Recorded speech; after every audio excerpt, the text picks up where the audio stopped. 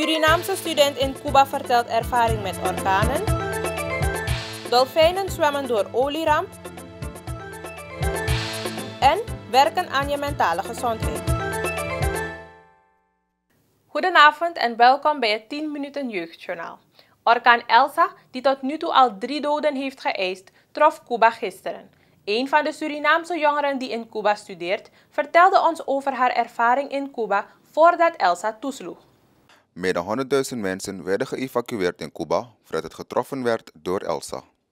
De storm veroorzaakte koude winden, heftige regens en modderstromen. Rajshri is medestudent in Cuba en zij vertelt over de situatie en haar ervaring met Elsa. Cuba is vanwege de ligging zijn er heel vaak, of jaarlijks, zijn er dan hurricanes, stormen. Dus Cuba is een beetje voorbereid. Als je naar de gebouwen kijkt hier op Cuba, zijn ze ook gemaakt speciaal voor deze naturale um, stormen en hurricanes en, uh, en heel wat. Dus het is heel normaal op Cuba. Voor mij heb ik het als eerst hier ervaren en ik was echt even van, nou, wat is dit? Maar ik ben ook al drie jaar hier, dus ook voor mij, we zitten gewoon af te wachten. Het is nu heel zonnig, heel heet. De storm trof Cuba terwijl het land worstelt met de zwaarste COVID-19-uitbraak sinds het begin van de pandemie. De vrees ontstond dat de massale evacuaties zouden kunnen leiden tot een verdere stijging van de besmettingen. Er werden bunkers gemaakt ter bescherming tegen storm Elsa. Een bunker is een schuilkelder die bescherming biedt aan meerdere mensen tegen bombardementen, beschietingen en gevaarlijke weerverschijnselen.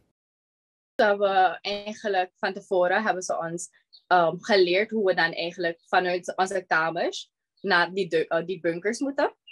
Want vanwege situaties zijn we ook van, um, vanaf maart 2020 op verplicht quarantaine op campus zelf. Dus we mogen als studenten campus niet verlaten.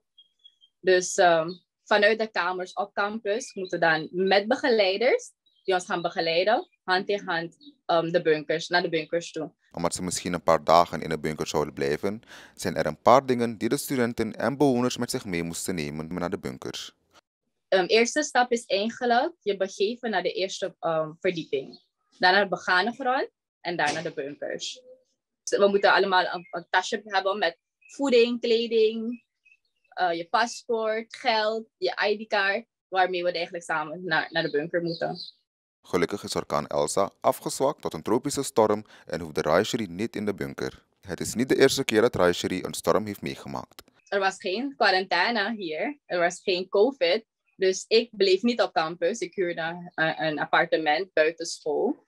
En in de storm moest ik dus tegen acht uur s avonds van campus lopen naar mijn appartement, want ik had de instructies niet echt kunnen volgen. Ik met een gewicht van 45 kilogram kon er niet door. Dus ik zat daar al vast te houden, lopen in het water.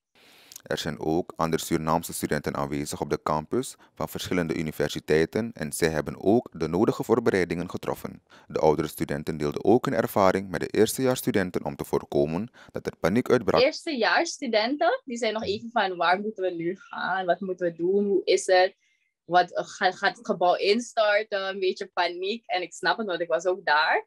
Maar uh, het, is, het wordt toch niet zo heftig. Of althans, wat ik heb meegemaakt. Want wat ze zeggen is dat van het eerste jaar, van mijn eerste jaar, veel zwaarder was. Of veel met de, sneller, met de hogere snelheid naartoe kwam dan deze. Dus zoals ik zei, de gebouwen zijn gemaakt voor deze dingen. Er zijn zo speciale um, aluminium shutters.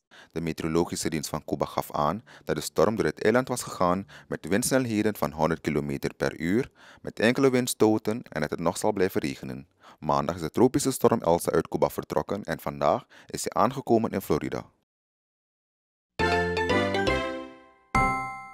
Extreme hitte in Canada en dolfijnen zwemmen door olieramp. Deze berichten vandaag in ons kort nieuwsblok. Een kapitein heeft afgelopen weekend een groep dolfijnen gefilmd die bij San Diego door een laag olie zwommen.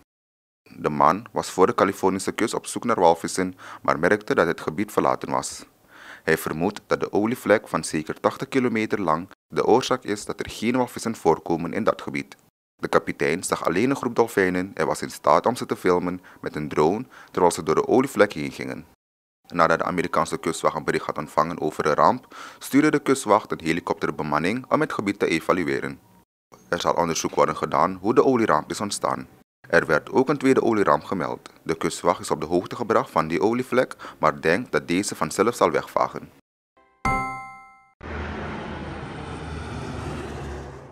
Er wordt verwacht dat er dit weekend tientallen bosbranden bij kunnen komen, omdat er onweer met hevige bliksem ontstaat in de grote rookwolken. De bliksem slaat in op de grond en zorgt zo voor nog meer bosbranden. In een groot deel van de Verenigde Staten en Canada is het al langer dan een week extreem heet. Op sommige plekken is het bijna 50 graden. Ter vergelijking, op een warme dag kan het 34 graden worden in Suriname. In het Canadese dorp Lytton ontstond er door de extreme hitte brand en is bijna het hele dorp afgebrand. Ook in het binnenland, waar de hitte naartoe schuift, veroorzaken de branden grote schade. This is not a British Columbia problem. It's not a Canada problem. It is a global challenge. And we all need to have citizens of the world coming together, as we have, quite frankly, to address a global pandemic. Het is nog niet bekend hoeveel mensen slachtoffers zijn geworden van de branden. Militairen en andere hulptroepen proberen zoveel mogelijk huizen te redden en mensen in veiligheid te brengen. This is honestly terrifying.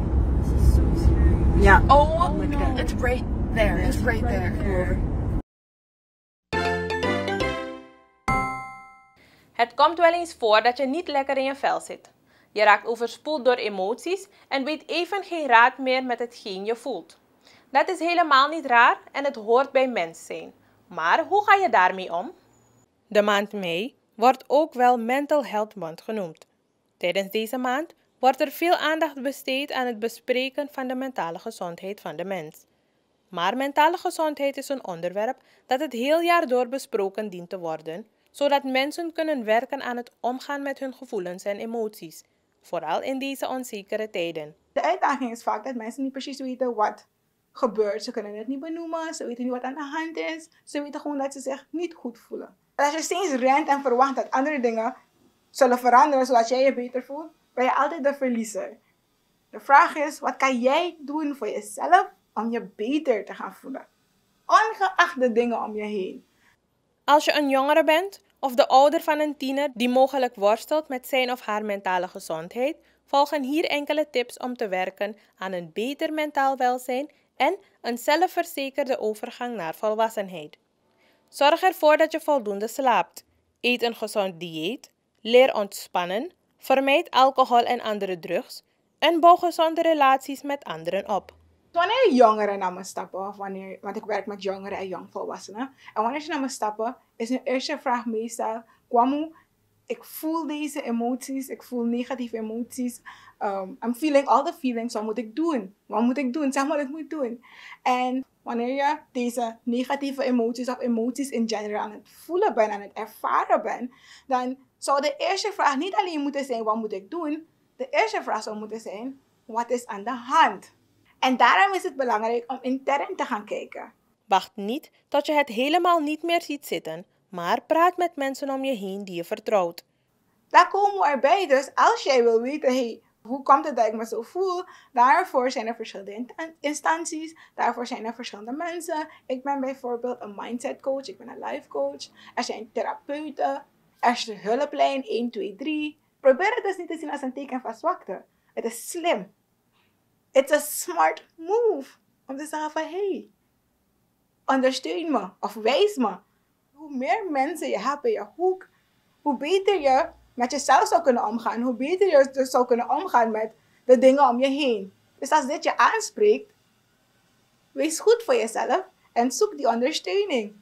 Soms kunnen dingen echter zo uitzichtloos lijken dat zelfs de meest behulpzame en ondersteunende vriend of familielid de situatie niet kan verbeteren. In zulke gevallen kan het zoeken naar professioneel advies en ondersteuning van een getrainde psycholoog jongeren helpen om hun problemen te verwerken en om te gaan met uitdagende situaties. Hiermee zijn we aan het eind gekomen van het 10 minuten jeugdjournaal. Bedankt voor het kijken. Goedenavond. Música